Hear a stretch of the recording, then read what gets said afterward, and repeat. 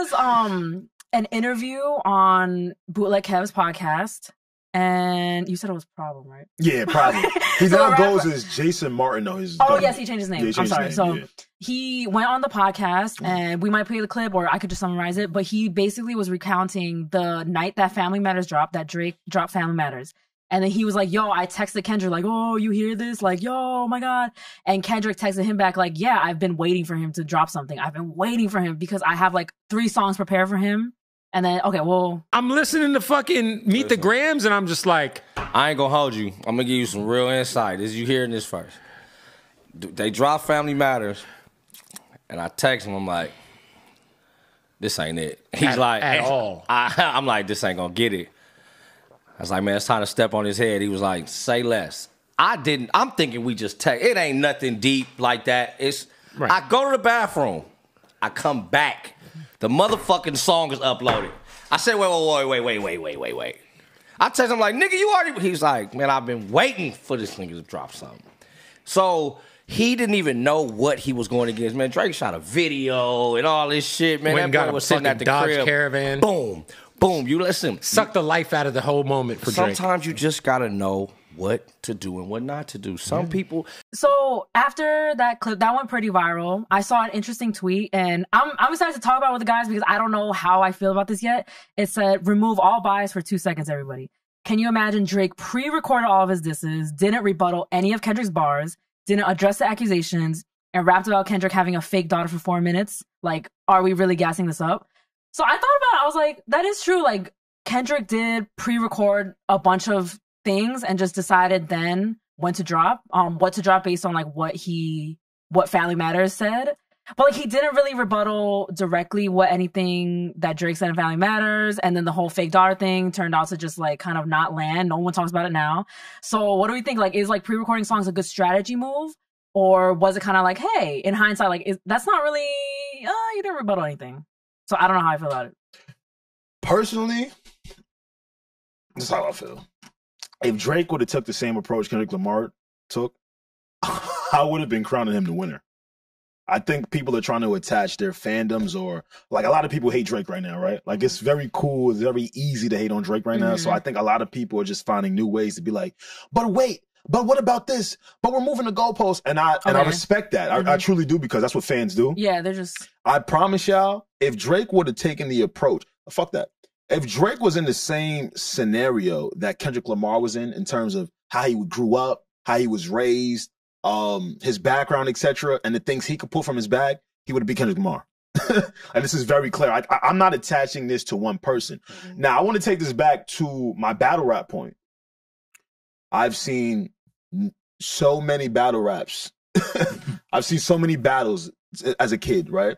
I still to this day haven't seen a battle rap where where when they write something, they're directly responding to what was written. Like battle rappers, they're probably given a few months, probably given a month, depending on how depending on how long, you know, it is until the battle, and they and they write. Both artists don't know what's being written about with who mm-hmm. until they get to the battle.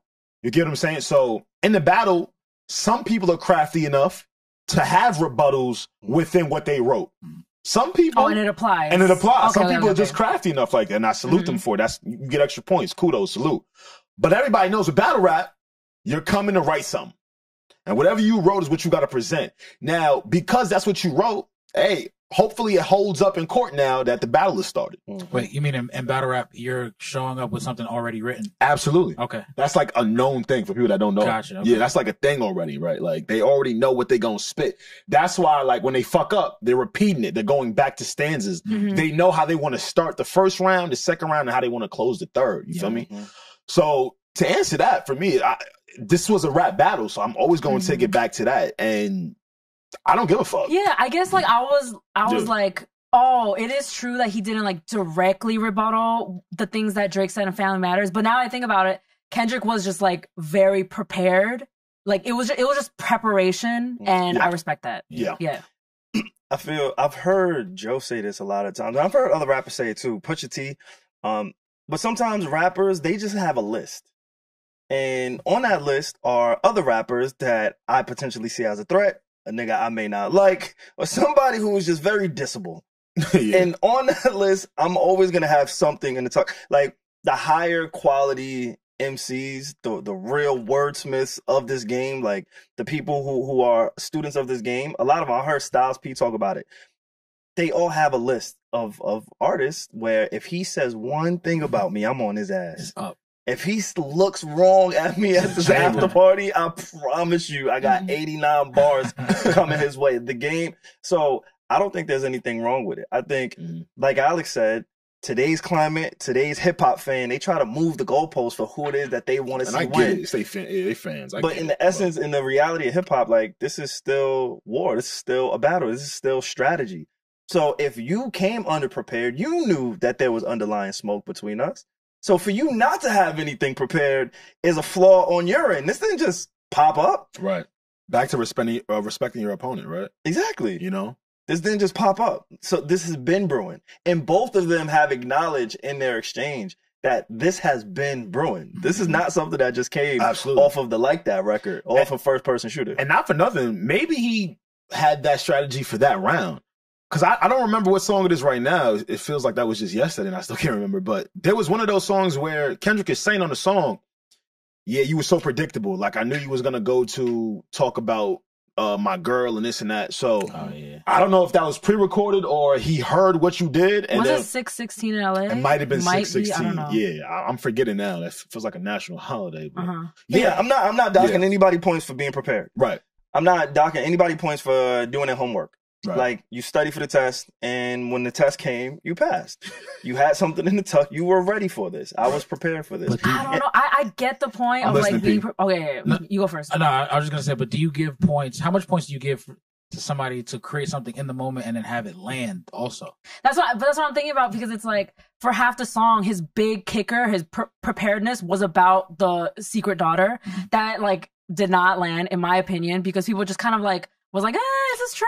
I don't think it was his big kicker. In that song, I think it was. It was Oh, like, that oh my song? god, Yes, yes, my fault. You're right. Yeah, meet the You're right. Grahams and like. I thought you meant the scope of the battle. Yeah, I understand he had, and then Mhm. because it didn't land, I feel like Kendrick kind of was like, "Oh shit, is this doing what I thought I was gonna do?" And Yeah. then boom, he did not like us, and then he won. Yeah. So that is strategy, and then so he deserves a win.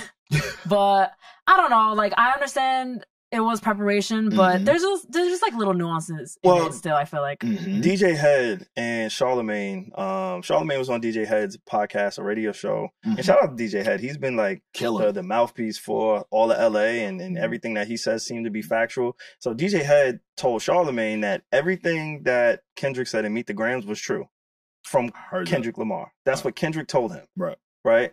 Now Kendrick hasn't done the internet games much. He hasn't gotten there defending his name. He's not dropping memes. He's not doing that.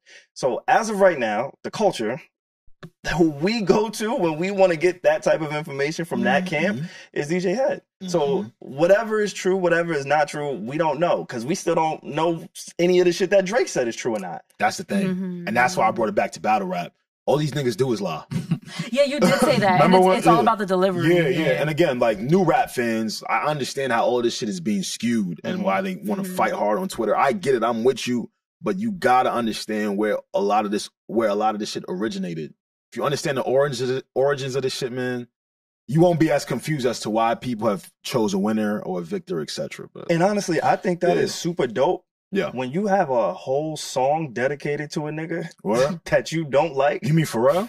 like You mean for real? just waiting, bro. Imagine you dislike somebody so much Yeah. that on your hard drive there's just venom.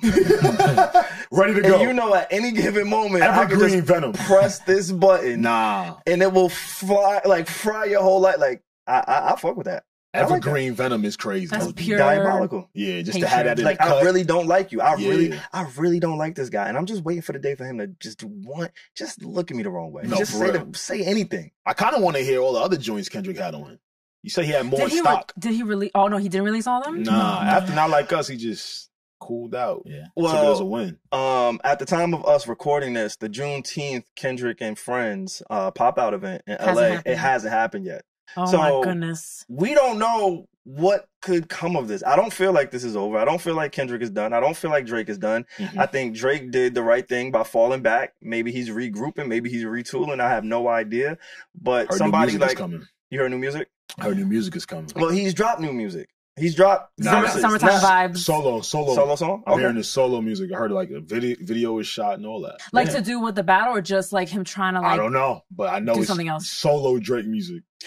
I think Wednesday, Yeah. and by the time this comes out, it already have has passed. Mhm, mhm. But I'm curious to see what that looks like, and I'm curious to hear how we will sound, of how we will feel next week when we record, Nah, because it's so many different variables with that concert. Like you could bring out all of the people who don't fuck with Drake. This could be a Damn. let's take a victory lap on this light skinned Canadian guy, or it could just be, hey, I just want to connect with my fans, and I'm not even going to acknowledge Drake. I, I Mhm. don't know yet. yes, you do. I really don't. It's you do. Monday when we're recording this. I have no clue. You ain't see them gang members he was hanging with? He's always with gang members. I know they in L.A. at the Forum. How many gang members you think gonna be in there?